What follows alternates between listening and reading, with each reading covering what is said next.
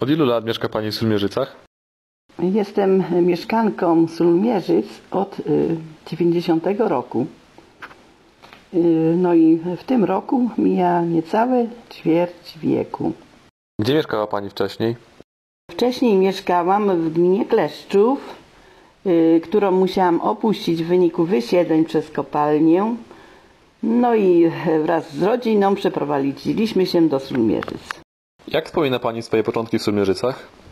No jak pamiętam, y, dosyć szybko przyzwyczaiłam się do y, Sulmierzyc. Y, Kupiliśmy dom przy parku, co prawda był bardzo zaniedbany, ale mimo to często chodziłam tam na spacery. Szczególnie jak dzieci były jeszcze małe. Sklepy były bardzo blisko. Pamiętam właśnie taki jeden, w którym najczęściej robiłam zakupy.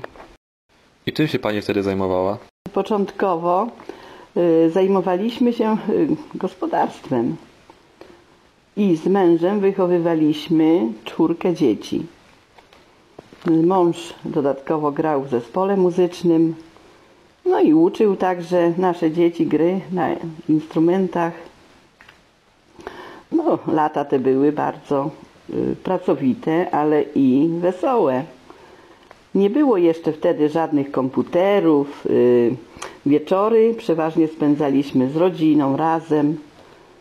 Y, Często rozmawialiśmy, graliśmy w karty, no, różne gry. No, ale dużo, dużo by opowiadać.